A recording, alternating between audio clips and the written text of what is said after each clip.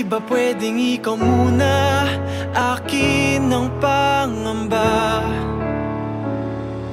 Dahil ikaw ang aking mata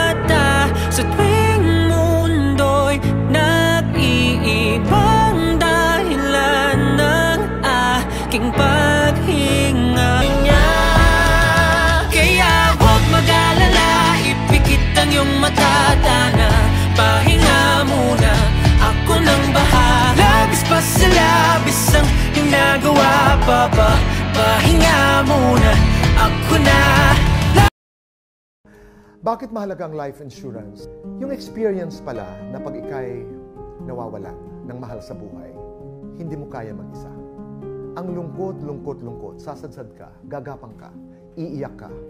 Ang pinakamaganda sa life insurance, it makes life easier para doon sa mga naiwan. Katulad na lamang halimbawa, Manila Bankers Life, para mong kamag-anak, para mong kapatid, na nariyan in your moment of grief.